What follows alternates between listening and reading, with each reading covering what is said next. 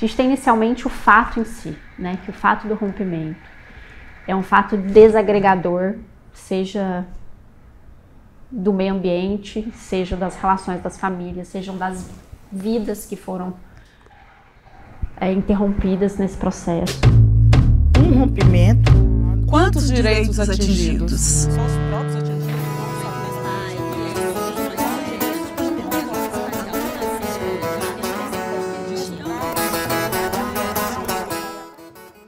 Justiça, participação e reparação.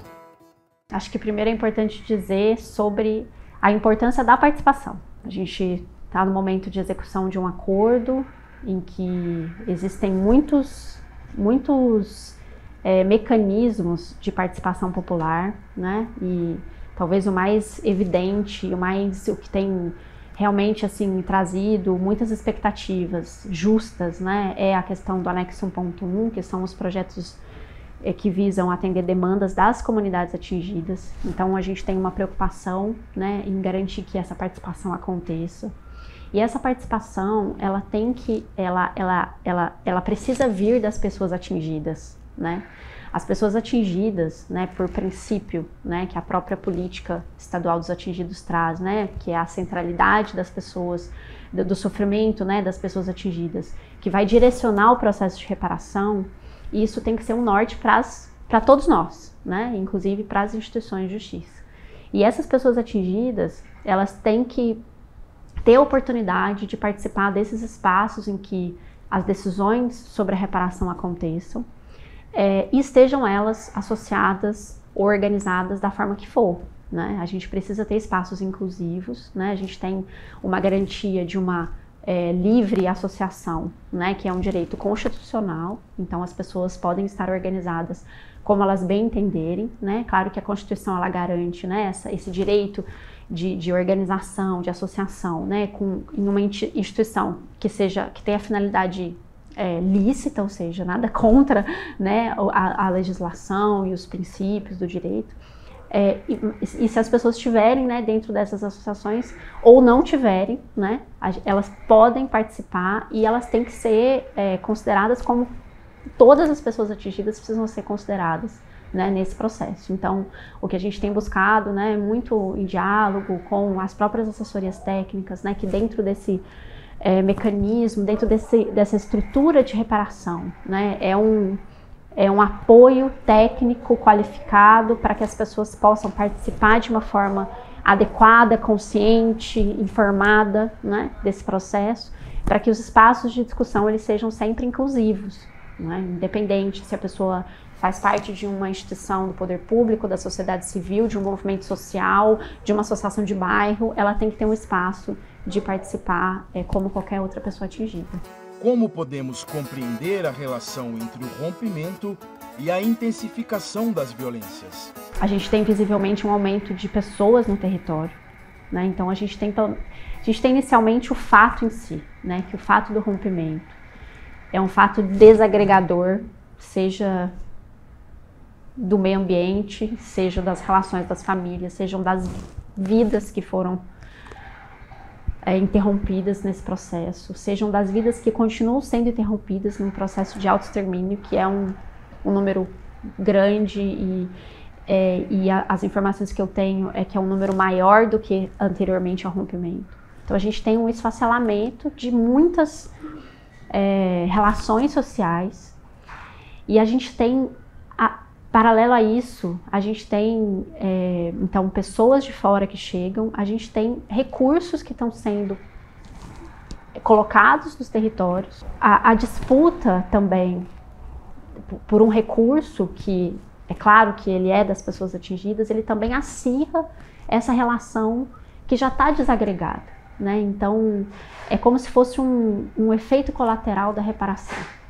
Eu, eu tenho visto em alguns territórios que a gente tem acompanhado como que as pessoas atingidas, muitas vezes, elas deixam de ter um foco único é, em relação, por exemplo, à empresa causadora do dano e passa a ter um foco é, contrário a pessoas que estão em situações de atingimento como ela.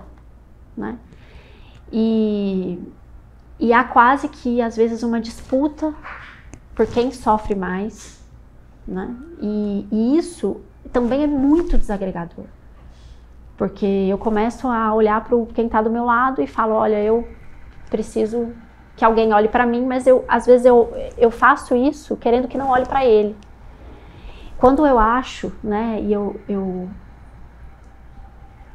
estou de fora do processo, então para mim pode ser simples falar porque eu não sou uma pessoa atingida por barragem. É, mas eu tento trazer essa reflexão na, nos momentos que eu tenho com as pessoas atingidas de que é, não, nunca vai existir uma coesão sobre os atingimentos. Sempre vai ter uma pessoa que sofreu algo, como se a gente pensar nas pessoas que perderam familiares. Isso é irreparável. Né? Então, eu tenho pessoas que perderam a condição de ter acesso ao rio, pessoas que perderam o trabalho, pessoas que perderam uma série de coisas. Mas dentre todas elas, existe uma coisa comum, que é o fato delas serem atingidas por um grande empreendimento. Ou seja, há espaço para todos, não precisa ter uma disputa. E, e, e, eu acho que isso desagrega, porque quando a minha, o meu foco né, está não em é, formular um processo de reparação coletivo, mas que a minha dor seja vista de uma forma diferente, eu acabo é, traz, talvez dificultando que esse processo aconteça de uma forma mais é, mais potente. Então, acho que a gente precisa disso, a gente precisa de ter essa reflexão com as pessoas atingidas, que todas as dores são respeitadas, que todas as dores, elas são, nós somos solidários a todas elas, e que agora nós estamos num momento de implementação de uma reparação para o que puder ser reparado, de uma compensação para aquilo que puder ser compensado, da forma mais justa possível. E para isso a gente precisa da força das pessoas para orientar esse processo. Em que medida as diferentes formas de discriminação e exclusão atrapalham a luta e a articulação pela reparação coletiva? É, eu acho isso, sabe, que quando eu, eu me sinto mais apta a falar sobre o que eu sofri, ou eu acho que eu tenho mais direito de direcionar um processo, quando eu acho que um certo grupo, por quaisquer razões que sejam, não tem o direito de estar num espaço, eu crio mais, eu crio disputas internas entre os atingidos e não caminho para reparação. Então eu vejo que isso dispersa e acho que o, o pensamento tem que ser, apesar das nossas diferenças, porque nenhuma pessoa é igual e nem é para ser, nenhuma pessoa sofreu igual, porque às vezes o mesmo fato gera um tipo de sofrimento para uma pessoa e um tipo de sofrimento para outra. Então se eu entrar nessa discussão a gente não tem consenso nunca. Apesar disso, e respeitando todas as formas de como as pessoas compreendem o que elas vivem, a gente precisa dar um passo. E esse passo ele é coletivo. Então eu, eu preciso em algum momento abrir mão dessa, dessa divisão e caminhar para essa unidade que é falar o, o, foco na reparação nos une. Nos, nos une como atingidos e nos une é, é, em objetivo da reparação. O resto, tudo mais pode ser diferente. Onde eu moro, o que eu sofri, eu, o que eu perdi, o que eu vivo no dia a dia. Isso, isso com certeza é diferente porque nós somos, como seres humanos, cada um diferentes. Mas algo precisa nos mover. E eu acho que isso precisa ser resgatado a todo tempo. Nas nossas falas, nas falas das assessorias, a, por cada pessoa que participa do processo de reparação. Para que a gente consiga dar o passo. Né? e, e, e e, reduzir um pouco disso que a gente tem visto, né, de situações de violência, né, em relação é, não só violência é, de palavras, né, mas a gente tem visto também relatos, né, de, de, de, de violências, de, ame de, ameaças, de fatos que podem configurar inclusive crimes mesmo, né, entre as pessoas atingidas. Então, eu acho que isso é o extremo da, dessa, dessa, dessa, dessa, dessa, desse foco não voltado para a reparação, né, em que ainda tem todas essas disputas né, que, que a gente tem verificado nos, nos territórios. Como as instituições de justiça podem contribuir para garantir um ambiente de segurança e legalidade nos territórios atingidos? Talvez um ponto inicial é pensar que a gente tem é, estruturas de segurança pública em todos esses espaços. Então, A gente tem as polícias militar, a polícia civil, a gente tem as promotorias de justiça que estão nessas localidades, é, que estão sempre dispostas a receber informações sobre qualquer prática que possa envolver um crime é, nesses processos. Então, acho que é importante dizer isso, né? Que as pessoas que eventualmente se sintam ameaçadas, é, ou que né, se sintam que foram vítimas de qualquer espécie de criminalidade, isso tem, isso, isso pode ser procurado, né, porque existe um sistema de segurança pública. Na execução do acordo, né, a gente tem percebido que as instituições de justiça podem, né, paralelamente a é, acionar eventualmente algum órgão de apoio, como por exemplo o programa é, de proteção de defesa de, dos defensores dos direitos humanos, né, em alguns casos. É, até um dos questionamentos aí, acho que é um caminho que ele já foi buscado, né, para algumas das pessoas atingidas que acabam se vendo ameaçadas nesse processo, algumas lideranças comunitárias ameaçadas. Mas a gente também tem percebido que é, existem talvez informações desconexas ou falsas que são veiculadas nos territórios por uma série de razões, enfim, né, e que é, a gente também vê e nota que é importante ter um processo mais aprimorado, mais próximo e sempre, né, é, é, que evolua, né, um processo de transparência sobre as ações do acordo.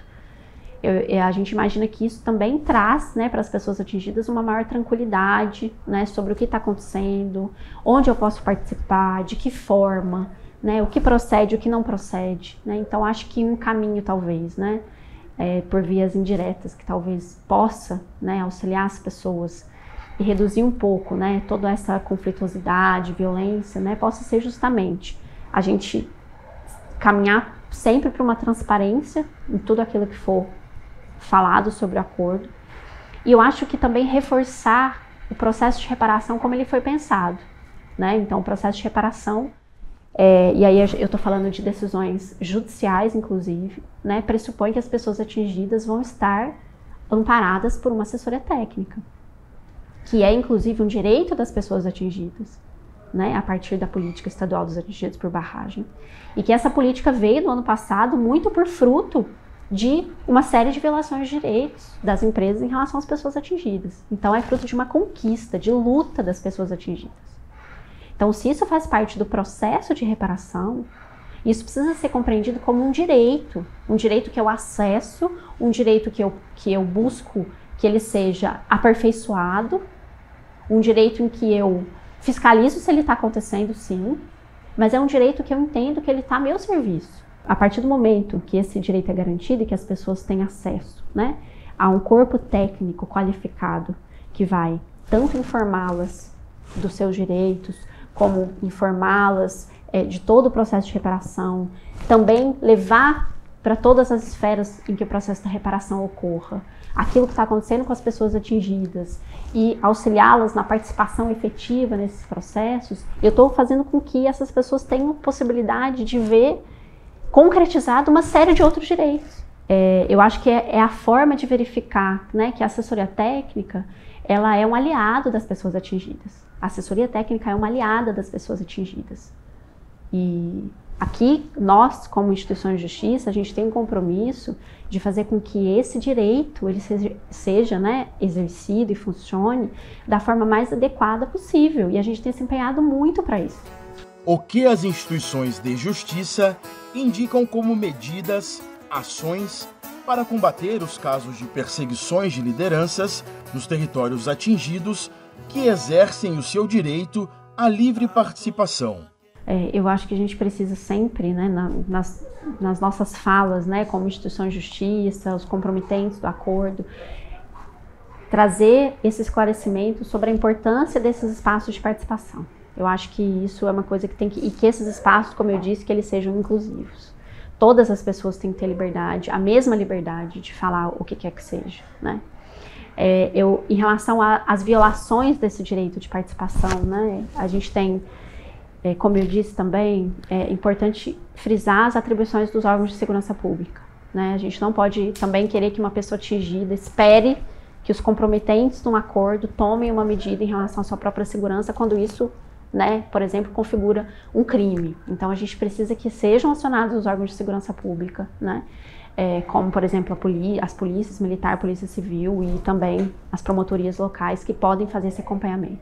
A gente tem algumas possibilidades, né, como inclusão, no, um dos exemplos é o programa de proteção dos defensores dos direitos humanos, né? A gente sabe que tem algumas lideranças na bacia que estão integram esse programa, que aí você abre, né, toda uma cadeia de proteção diferente. Então isso é uma possibilidade também, que as EJs também ficam é, disponíveis, né, para fazer essa essa solicitação. Quais os mecanismos de apoio para desenvolver as questões que garantem o direito à igualdade racial e não discriminação nesses territórios. Como que esse tipo de é, desastre, aqui nós não estamos falando de um desastre natural, né? Nós estamos falando de um desastre provocado, ele atinge mais a população mais vulnerável, né? E se a gente for fazer um recorte pelo nosso, né, por um racismo que ainda é estrutural, a gente vai ver que acaba afetando de uma forma desigual a população negra, né? Então, é, eu, é uma realidade, né? Eu acho que assim a gente tem todo o empenho, né, de fazer o acordo é, ser cumprido para todas as pessoas atingidas, mas é preciso ter esse olhar também sobre os grupos especialmente vulneráveis, aqueles mais atingidos, como por exemplo, você está citando a população negra, os próprios povos e comunidades tradicionais, né, que são grupos que historicamente, né, têm os seus direitos violados e têm uma série de dificuldade de acesso a políticas públicas muito maior do que os outros grupos, né? E a gente tem hoje no Ministério Público, a gente tem uma coordenadoria específica de combate ao racismo e todas as formas de discriminação.